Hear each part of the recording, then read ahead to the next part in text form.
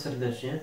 W dzisiejszym filmie pokażę Wam test porównawczy y, temperatur sekcji zasilania płyty głównej na przykładzie tych oto dwóch chłodzeń, czyli chłodzenie powietrzne średniej półki, średniej wydajności, a więc Be Quiet Pour Rock oraz y, chłodzenie y, wodne, tak zwane All-in-One, czyli NZXT Kraken X62 a więc chłodnica 280 mm, chłodzona przez dwa wentylatory 140 mm.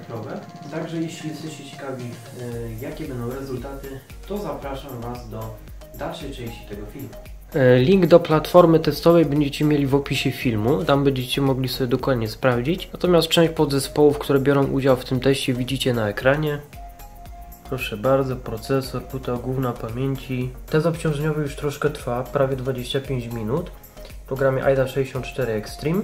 No i zobaczmy sobie ile wynosi temperatura no i zobaczmy sobie ile wynosi temperatura sekcji zasilania płyty głównej. W programie HW Info 64 jest ona oznaczona jako VRM MOS. Jak zapewne zauważyliście wynosi 93 stopnie. Obecnie chłodzony jest procesor NZXC Kraken X62. Proszę bardzo widzicie tutaj to chłodzenie zamontowane.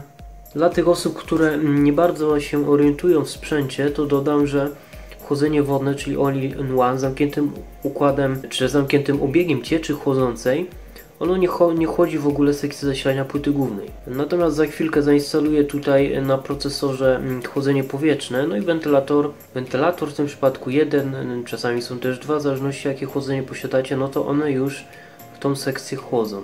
Nie zobaczymy jaka będzie różnica w temperaturach. Moi drodzy, test obciążeniowy trwa. E, w komputerze zainstalowany jest chłodzenie Be Quiet Pure Rock. Tak ono wygląda.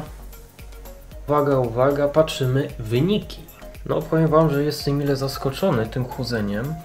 Zobaczcie, na maksymalna temperatura na podkręconym i7 8700K napięcie 1360 V i maksymalna temperatura 88 stopni na najcieplejszym rdzeniu. Na Krakenie było to 78. Tutaj program HW Monitor. Program HW Info 64 mm, również wskazuje takie same temperatury a więc 88 stopni na najcieplejszym rdzeniu. Powiem szczerze, że myślałem, że będzie gorzej, znacznie gorzej, że ponad 90 stopni, około 95 będą te temperatury. Natomiast ochłodzenie Be Quiet Rock kosztuje około 150 zł, no i jak widzicie radzi sobie całkiem dobrze z podkręconym procesorem, który ma 6 rdzeni i 12 wąt. To chłodzenie ma tylko jeden wentylator. Jeśli zamontujecie drugi, te temperatury jeszcze spadną o jakieś 3-4 do 5 stopni. No ale teraz wracam do tego co najważniejsze, mianowicie temperatura sekcji zasilania płyty głównej, więc kwestia, która jest testowana w tym filmie, czyli VRM MOS. No i patrzcie, maksymalna temperatura 81 stopni. Mamy 12-13 stopni chłodniej, chłodniejszą sekcję w przypadku zastosowania średniej klasy chłodzenia powietrznego w porównaniu do chłodzenia all-in-one. Podejrzewam, że jakby zastosować tutaj chłodzenie na przykład Be Quiet Dark Rock Pro 3 czy Pro 4, no tutaj myślę, że te temperatury byłyby jeszcze co najmniej o 5 stopni niższe, można nawet około 10 niższe. Ponieważ tamte chłodzenia, no to jak pewne większość z Was wie, są dużo bardziej rozbudowane, mają dwa wentylatory, są to najwydajniejsze chłodzenia obok Noctu NHD 14. Również procesor obciążany programem AIDA 64 Extreme. Ponad 25 minut, czyli podobny czas obciążeniowy co w przypadku Krakena. No, myślę, że ciekawe kwestie wynikły z tego testu.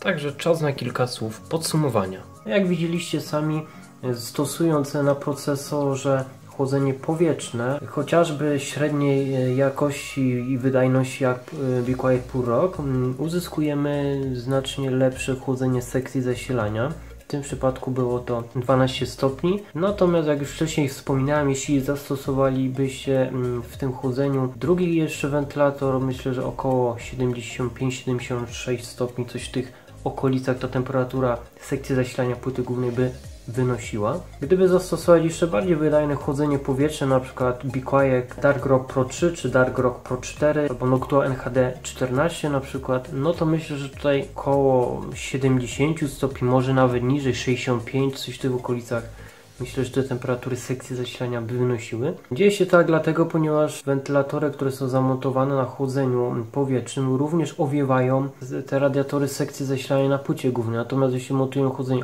all-in-one, czegoś takiego nie ma. Chłodzony jest tylko sam procesor, sekcja zasilania chłodzona nie jest. A w większości płyt głównych sekcja zasilania nie jest chłodzona żadnymi wentylatorkami, dodatkowymi innymi metodami. Po prostu się nagrzewa. Im jest słabsza, tym nagrzewa się bardziej. To tyle, co chciałem Wam pokazać e, w tym filmie. Tradycyjnie zapraszam do pisania komentarzy, dawania łapek w górę, subskrybowania kanału, oglądania filmów najlepiej od początku do końca w playlistach. Dzięki za uwagę i do zobaczenia w następnych filmach. Cześć!